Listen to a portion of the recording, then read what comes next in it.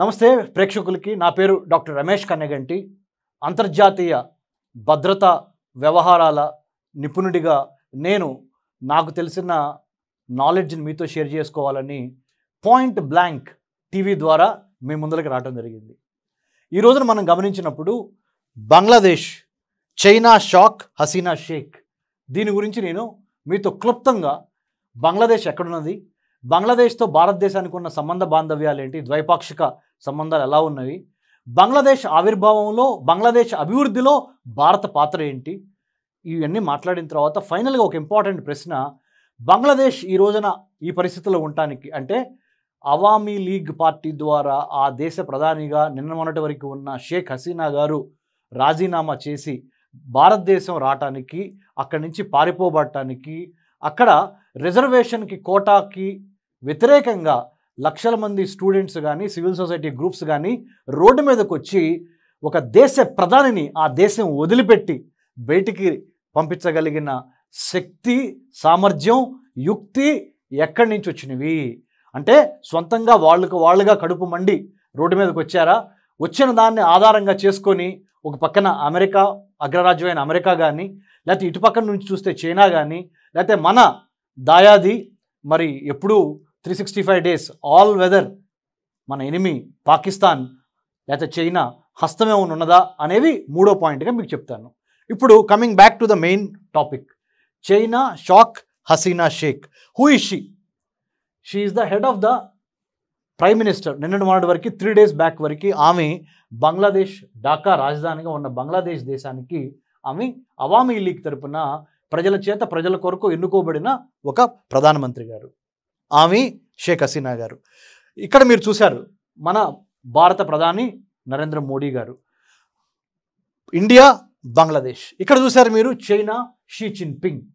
China అధ్యక్షుడు Xi Jinping. ఈ మూడు సింబాలిక్ జెస్చర్స్ ఆఫ్ మూడు ముగ్గు మూడు దేశాలకి ఈ ముగ్గురు ప్రతినిధులు. ఈ రెండు పెద్ద దేశాల మధ్యలో ఈమె ఇక్కడ ఉన్నారు. దీనికి సంబంధించి వాళ్ళు మనం మాట్లాడుకోబోతున్నాం ఇంకో రకంగా.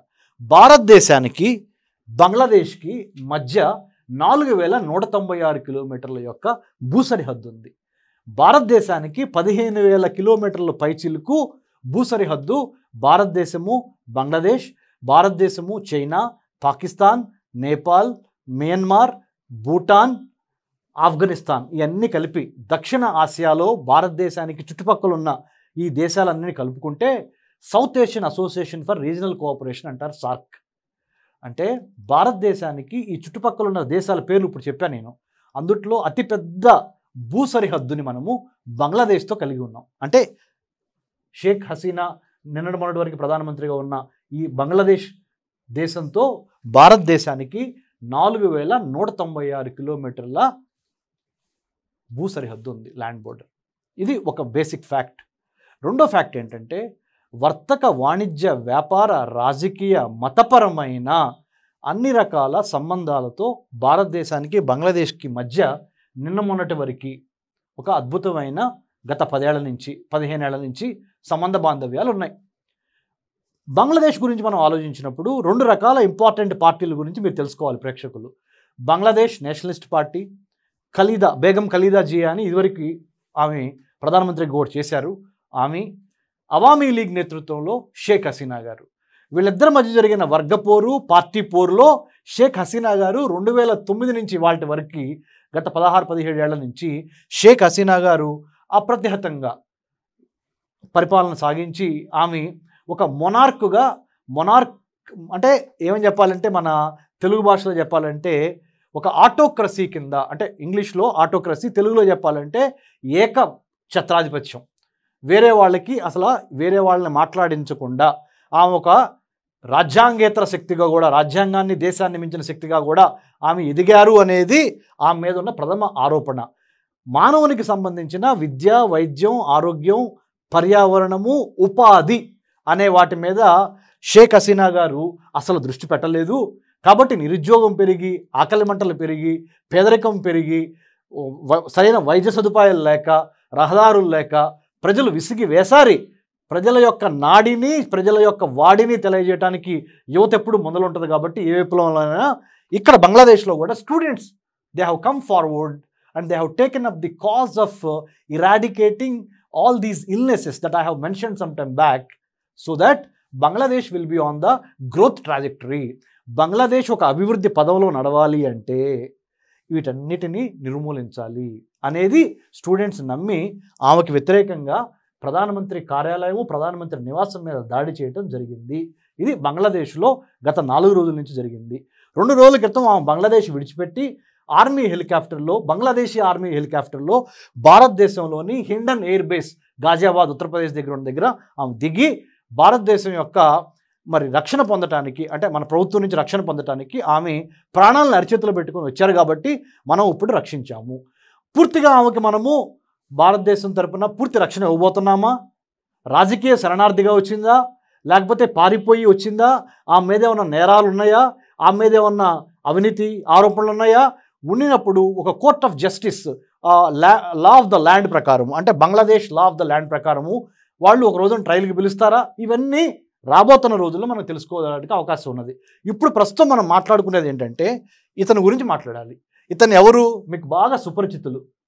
Chinese president Xi Jinping. ఈయన భారతదేశానికి చైనాకి మధ్య మూడు వేల నాలుగు వందల ఎనభై ఎనిమిది కిలోమీటర్ల ల్యాండ్ బోర్డర్ ఉంది. దీన్ని లైన్ ఆఫ్ యాక్చువల్ కంట్రోల్ అంటారు ఎల్ఏసి భారతదేశానికి పాకిస్తాన్కి మధ్య ఎల్ఓసి లైన్ ఆఫ్ కంట్రోల్ ఉంది మూడు వేల కిలోమీటర్ల పై చిలుకు. సో ఈయన కూడా మన దా మన మన మన సి ఇంగ్లీష్లో ఆంగ్లంలో ఒక సామెత ఉంది. You can choose your friends but you cannot choose your neighbours అంటే అర్థం ఏంటంటే మన తెలుగులో స్నేహితుల్ని నువ్వు ఏరి కోరి ఎంచుకోవచ్చు ఎవరితో స్నేహం చేయాలనేది. కానీ నీ ఇరుగు పొరుగు ఉన్నవారు అంటే నీ ఇంటి పక్కన ఉన్న ఇల్లు ఎప్పటికీ ఆ ఇంట్లో వాళ్ళు ఉంటారు కాబట్టి వాళ్ళని ఎట్లా ఎంగేజ్ చేయాలి అనేది మన చేతుల్లో ఉండదు. అంటే you can you have the liberty to choose your friend but you don't have the liberty to choose your neighbour. ఎందుకంటే ఆయన ఆయన సొంత స్థలంలో ఆయన ఇల్లు కట్టుకొని మన పక్కన ఉన్నాడు కాబట్టి అతనితో శత్రుత్వం వచ్చినప్పుడు ఎలా ఎంగేజ్ చేయాలి? How do you engage your neighbour is the art and science of diplomacy అంటారు. అంటే దౌత్యం ప్రకారము మన యొక్క ఇరుగు పొరుగు వారితో మనము శాంతి కానీ సౌ సౌభ్రాతృత్వం కానీ లేకపోతే వాళ్ళతో వైరం కానీ ఏదొచ్చినా ఎలా మాట్లాడుకోవాలి ఎలా వాళ్ళతో ఆ సమస్యను పరిష్కరించుకోవాలి అనే దాని మీద మనం దృష్టి పెట్టాలి కాబట్టి ఇతన్ని మనం మర్చిపోకూడదు. COVID nineteen COVID corona virus మూలన లక్షల కోట్ల మంది జనాభా ప్రపంచవ్యాప్తంగా అతలాకుతలమైంది కదా. నా పేరు రమేష్ కన్నగంటి అని కొంత కొంతసేపటి క్రితం మీకు చెప్పా. నా దృష్టి ప్రకారము నేను doctorate in American studies in Delhi Jawaharlal Nehru university post doctorate from Israel and United States. గత పదిహేను ఏళ్ళ నుంచి నేను స్ట్రాటజీ సెక్యూరిటీ ఫారెన్ అఫైర్స్ విదేశీ వ్యవహారాలు పక్కా ప్రణాళికతో అంతర్గత భాగంగా అంతర్గత భద్రతలో భాగంగా జియో పాలిటిక్స్ ఈ అంశాలన్నిటి మీద నేను మేధోమదనం చేయటము రాయటము టీచింగ్ చేయటం ఐఏఎస్ ఐపీఎస్లకి జరుగుతున్నది. సో ఒక గత పదిహేను ఏళ్ళుగా ఈ అన్నిటి మీద నేను క్షుణ్ణంగా అవగాహన చేస్తున్న వాడిగా నాకు వచ్చిన సమాధానం ఏంటంటే Covid నైన్టీన్కి Chinese orchestrated venomous imperial design in twenty nineteen to occupy five spaces. అంటే C O V I D nineteen అనే దానికి నేను ఇచ్చిన నిర్వచనం ఏంటంటే China orchestrated venomous imperial design. China యొక్క కుట్రపూరిత సామ్రాజ్యవాద చట్రంలో భారతదేశాన్నే కాదు ప్రపంచంలో ఒక ఐదు పంచభూతాలను ఇరికించాలనుకుంది చైనా. మ్యానుఫ్యాక్చరింగ్ స్పేస్లో దొరబడాలని ప్రపంచవ్యాప్తంగా పొలిటికల్ స్పేస్లో ప్రపంచవ్యాప్తంగా దొరబడాలని చైనా మ్యారిటైమ్ స్పేస్ అంటే సముద్రాల మీద ఆధిపత్యం సాధించాలని సైబర్ స్పేస్ అంతర్జాలం మీద ఆధిపత్యం సంపాదించాలని అన్నిటికీ మించి సర్వీస్ సెక్టర్ స్పేస్ అంటే సేవా రంగాల్లో కూడా తనదైన ముద్ర వేసుకోవాలని ఈ ఐదు పంచభూతాలని తను వశం చేసుకోవాలని చైనా ఎన్లార్జ్మెంట్ ఎంట్రాప్మెంట్ ఎన్సర్కిల్మెంట్ అనే మూడు విధానాల ద్వారా ప్రపంచాన్ని అంతా కవళించడానికి ప్రయత్నం చేస్తున్న భాగంలో ఇవాళ రోజున మీరు గమనిస్తే మన ఇండియాకు దక్షిణాన కింద ఉన్న శ్రీలంక దేశానికి అప్పిచ్చి తీర్చలేనంత అప్పిచ్చి శ్రీలంక మీద డెట్ ట్రాప్ డిప్లొమసీ అనే ఒక విధానం ద్వారా హ్యామ్ హ్యాంబెన్తోత అనే పోర్టును కూడా అది తొంభై తొమ్మిదేళ్ళకి లీజ్ తీసుకొని శ్రీలంకలో ప్రవేశం చేసింది. నేపాల్కి డబ్బులు ఇచ్చింది కమ్యూనిస్ట్ గవర్నమెంట్కి. నేపాల్లో ఉన్న రాజ్యాన్ని అతలాకుతలం చేసింది. పాకిస్తాన్కి CPEC China Pakistan economic corridor ద్వారా పాకిస్తాన్లోకి ఎంటర్ అయింది. ఇప్పుడు బంగ్లాదేశ్లోకి బంగ్లాదేశ్లో జరుగుతున్న ఈ రాజకీయ అనిశ్చితి యొక్క మూలాల్లోకి వెళ్తే కొన్ని సొంత తప్పిదాలు కొన్ని ఎనిమిది ఎదురు చూస్తూ ఉంటారు కదా నక్క చైనా అనే ఒక నక్క కరెక్ట్గా ఈ సమాచారము ఏది షేక్ హసీనా దేశం విడిచి వెళ్ళిపోవటానికి విప్లవం జరగటానికి వీటన్నిటికి సంబంధించి కొన్ని మీరు నమ్మండి కొన్ని నెలలుగా ఒక సంవత్సరం పైగా తప్పనిసరిగా చైనా యొక్క బ్రెయిన్ స్ట్రామింగ్ మేధోమదనం చేసి బంగ్లాదేశ్ని కుప్పగొల్చడం ద్వారా ఎందుకు భారతదేశానికి బంగ్లాదేశ్కి మధ్య చక్కటి అవినాభావ సంబంధంతో మనము మన ట్రేడ్ కానీ అన్నీ ముందరికెళ్తున్నాయి. ఈ తరుణంలో చైనాకు అది కంటగింపుగా మారి పాకిస్తాన్ ఎదురిగి మనకి శత్రువు చైనా కూడా మన శత్రువుగా మారింది. పంతొమ్మిది వందల అరవై రెండులో మనం చైనాతో యుద్ధం జరిగింది. పంతొమ్మిది వందల నలభై ఎనిమిది పంతొమ్మిది వందల అరవై ఐదు పంతొమ్మిది వందల డెబ్బై ఒకటి బంగ్లాదేశ్ అవతరణ దినోత్సవానికి అవతరణకి ఒక దేశంగా భారతదేశం మనం సహాయం చేస్తున్నాము. వీటన్నిటిని చూసి పాకిస్తాన్ ఎప్పుడు దెబ్బ కొట్టాలి ఎప్పుడు దెబ్బ కొట్టాలి భారత్ని దెబ్బ కొట్టాలంటే భారత్తో ఉన్న ఫ్రెండ్ ఎవరు? ఇప్పుడు బంగ్లాదేశ్. ఒక ముస్లిం కంట్రీ భారత్తో అత్యంత చెలిమిగా ఉన్నదాన్ని ఈ రెండింటి మధ్య కూడా డిఫరెన్సెస్ చేస్తే ఓ పక్క నుంచి ఆఫ్ఘనిస్తాను ఒక పక్క నుంచి పాకిస్తాను ఇంకో పక్క నుంచి బంగ్లాదేశ్ కింద నుంచి శ్రీలంక పైనుంచి నేపాల్ అన్నిటినీ మన పద్మవ్యూహంలో బిగించి భారత్ మీద ఎక్కువ ఒత్తిడి తీసుకురావటానికి చైనా అనే ఒక గుంట నక్కని వాడుకొని తప్పనిసరిగా మరి భారతదేశానికి ముప్పు తీసుకురావాలి అనే ఒక కోణంలో ఈ ఇదంతా జరుగుతుంది బంగ్లాదేశ్. ఒక్కసారి మీ యొక్క అవగాహన కోసము మీరు ఒకసారి ఇక్కడ చూస్తే ఇది బంగ్లాదేశ్ యొక్క మ్యాప్. మీకు ఇందాక చెప్పాను నేను బంగ్లాదేశ్కి భారత్కి మధ్య నాలుగు వేల నూట తొంభై ఆరు కిలోమీటర్ల భూ సరిహద్దు ఉందని చెప్పాను నేను. మరి బంగ్లాదేశ్కి భారత్కి మధ్య రివర్ షేరింగ్ ఉంది. అంటే నదులు నది నదీ నీటి ప్రవాహాల పంపకం. వర్తకం వాణిజ్యం వ్యాపారం మతం. The second largest Muslim community lives in India next to Indonesia not even Pakistan. So బంగ్లాదేశ్కి భారత్కి మధ్య ఈ యొక్క సంబంధం తర్వాత చాలామంది వెస్ట్ బెంగాల్ ఇప్పుడు ఈ రోజున వెస్ట్ బెంగాల్గా ఉన్నది మన పశ్చిమ బెంగాలు అస్సాము అరుణాచల్ ప్రదేశ్ త్రిపుర లాంటి రాష్ట్ర రాష్ట్రాలకి బంగ్లాదేశ్కి బోర్డర్స్ ఉన్నాయి. అంటే మన ఉత్తర ఈశాన్య రాష్ట్రాలు సెవెన్ సిస్టర్స్కి ఇంక్లూడింగ్ వెస్ట్ బెంగాల్కి అంటే ఈ ఎనిమిది తొమ్మిది రాష్ట్రాలకి ఈ బంగ్లాదేశ్కి మధ్య భూ సరిహద్దు ఉన్నది. కాబట్టి ఇక్కడ ఏం జరిగినా మనకు కూడా ఇక్కడ తప్పనిసరిగా రాజకీయంగా ఆర్థికంగా దౌత్యపరంగా అన్ని రకాలుగా మనకు కూడా ఇబ్బంది కలిగే అవకాశాలు ఉన్నాయి. కాబట్టి I suspect and I can say with some authority since I have been observing and reading and writing about international relations అంతర్జాతీయ సంబంధాలు అంతర్జాతీయ సెక్యూరిటీ మీద పనిచేస్తున్న వాడిగా చైనా యొక్క ఇంటెంటు కంటెంటు క్యారెక్టర్ అంటే చైనా యొక్క ఉద్దేశం ఏంటి? చైనా యొక్క దమ్మేంటి చైనా యొక్క వ్యక్తిత్వం ఏంటి? Intent content and character of a Chinese state led by Communist Party of China definitely must have been involved in the current debacle or the unrest that is happening in Bangladesh so we got to be alert we got to be on our toes to take care of the internal security of India భారతదేశ అంతర్గత భద్రత and external affairs of India భారతదేశం యొక్క విదేశీ వ్యవహారాలు. ఈ రెండింటికి అవినాభావ సంబంధం ఉంది. మన అంతర్గత భద్రతకి మన ఎక్స్టర్నల్ అఫైర్స్కి అంటే ఫారెన్ అఫైర్స్కి అవినాభావ సంబంధం ఉంది. కాబట్టి బంగ్లాదేశ్లో ఏదో జరుగుతుంది మనకెందుకులే ఇక్కడ మనం హ్యాపీగా మనం భోజనం చేసాము మన వ్యాపారాలు మనం చేసుకుంటున్నాం మన పండగలు మనం చేసుకుంటున్నాం అనుకోవడానికి లేదు. Now because of the internet the whole world has become a flat world అంటే ఇక్కడ ఈ కోణంలో ఏం జరిగినా దాని ఎఫెక్ట్ మన భారతదేశంలో ఉంటుంది. ఈ కోణంలో ఏం జరిగినా దాని ఎఫెక్ట్ మన భారతదేశంలో ఉంటుంది. కాబట్టి మనము ప్రాపంచిక విషయాల మీద మన రాజ్య సం- రాజ్యానికి సంబంధించిన విషయాల మీద పరిపూర్ణ అవగాహన కలిగి మనము మన ప్రభుత్వానికి కూడా సూచనలు సలహాలు ఇచ్చే స్టేజ్లో ఒక సిటిజన్ ఉంటే ఒక పౌరుడు ఉంటే మన దేశం చక్కగా అభివృద్ధి చెంది ముందరికెళ్ళుద్ది బ్రిటిష్ వాడి శృంఖలాల నుంచి మనల్ని మనం ఎప్పుడైతే కాపాడుకున్నామో పంతొమ్మిది వందల నలభై ఏడు ఆగస్టు పదిహేను ఇప్పుడు చైనా అనే ఒక భూతం నుంచి మనం కాపాడి మన శక్తియుక్తులతో చైనాని కట్టడి చేసి ముఖ్యంగా చైనా మన చుట్టుపక్కల ఉన్న అన్ని దేశాలని డొమినో ఎఫెక్ట్ అంటారు ఇంగ్లీష్లో. అంటే ఒక ప్యాక ముక్క పడిపోతే pack of cards. One card falls దాని మీద ఇంకో ఇంకో ప్యాక పడింది ఇంకో ప్యాక పడింది ఇంకో ప్యాక పడి అట్లా మొత్తం ప్యాకలు కింద పడిపోతాయి. తద్వారా భారతదేశం మీద పరోక్షంగా ఒత్తిడి తీసుకురావటం. అంటే ఒక శత్రు దేశము ఏ పనికైనా ఒడిగట్టి భారతదేశాన్ని అంతర్గతంగాను బాహ్యపరంగాను ఒత్తిడి తీసుకురావటం మూలాన తన కబ్జాలోకి తీసుకోవాలనే ఆలోచన మనము కోవిడ్ నైన్టీన్లో చూసాం చైనా చేసింది. ఇది కూడా అలాంటిదే. ఎందుకు అంటే ఒక సిస్టమేటిక్గా సైంటిఫిక్గా నేపాల్ని పడగొట్టారు. శ్రీలంకను పడగొట్టారు. బంగ్లాదేశ్ ఇప్పుడు పాకిస్తాన్ ఎప్పుడో పడగొట్టారు. Afghanistan పడగొట్టారు. So China hundred percent behind this scene.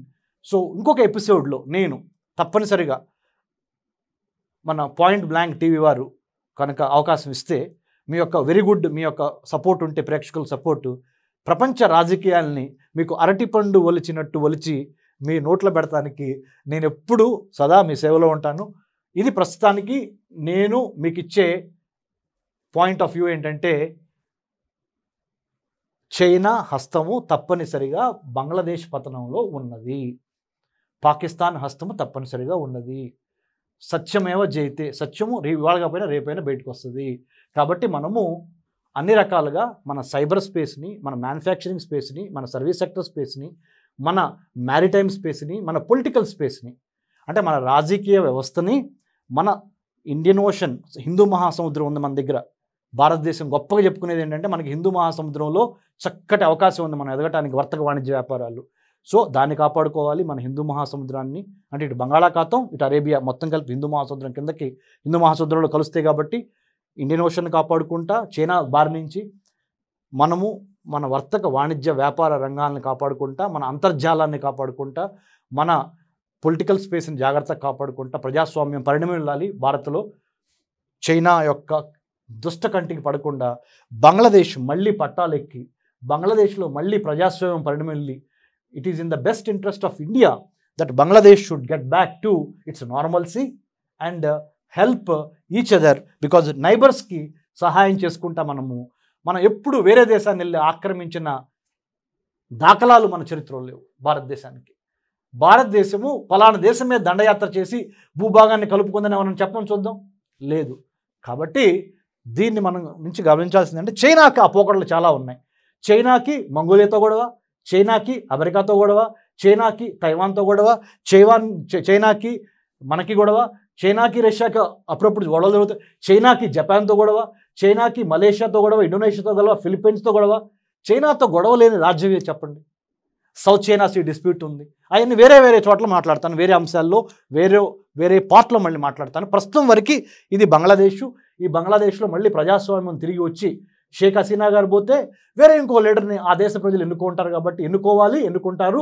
ఆ దేశ ప్రజలు ఎన్నుకున్న తర్వాత అక్కడ శాంతి సౌభ్రాతృత్వము మరి ప్రాస్పెరిటీ ఇవన్నీ వచ్చి మన దేశానికి కూడా మంచి జరగాలని అట్లాగే బంగ్లాదేశ్ కూడా మన చాలామంది హిందువులు బంగ్లాదేశ్లో ఉన్నారు. మన హిందువుల మీద కూడా అక్కడ దాడి జరగకుండా ఆ ప్రభుత్వం కాపాడాల్సిన బాధ్యత వాళ్ళ మీద ఉన్నది. అది కూడా వాటి మీద మనం ఒత్తిడి పెట్టి మన హిందూ సోదరుల్ని మన ముస్లిం సోదరుల్ని ఇద్దరు బాయి బాయిలాగా కలిసి ఉండేటట్టు ఇద్దరు చక్కగా ముందరికెళ్ళేటట్టు ఉండాలని మనసా వాచ కర్మేణ మనం కోరుకుంటా ప్రేక్షకులుగా ఆ విధంగా మన ప్రభుత్వాన్ని కూడా మనము ఒక రకమైన ఇన్పుట్స్ ఇస్తాం మన ప్రభుత్వానికి కూడా. ఎన్డీఏకి గవర్నమెంట్ ఆఫ్ ఇండియా అంటే under prime minister Modi garu Amit Shah గారు మరి డాక్టర్ ఎస్ జయశంకర్ గారు విదేశీ వ్యవహారాల మంత్రి గారు national security adviser Shri Ajit Doval garu మరి నేను ఆయన దగ్గర కొంతకాలం పనిచేయడం జరిగింది కొన్ని విషయాల మీద ఆన్ సెక్యూరిటీ మ్యాటర్స్ మేమందరం కలిసి whatever we can do with your support we should be doing and making sure Bangladesh must be having its prosperous democratic governance it is in the best interest of India and other countries that Bangladesh should be prosperous and peaceful and stable with this I stop I'm doctor Ramesh Kannaganti the great grandson of Kannaganti Hanumanthu shot by the British in Palnadu. Palnati పుల్లర ఉద్యమంలో మా ముత్తాత గారు కన్నగంటి హనుమంతు గారు పంతొమ్మిది వందల ఇరవై రెండులో ప్రాణాలు కోల్పోయారు. మించాలపాడు దుర్గి మండలం పల్నాడు గుంటూరు జిల్లా ఏరియాలో నేను వాళ్ళ ముదిమనవుడిగా I take lot of pride in protecting my country and the global affairs thank you Jai Hind. Doctor Ramesh Kannaganti.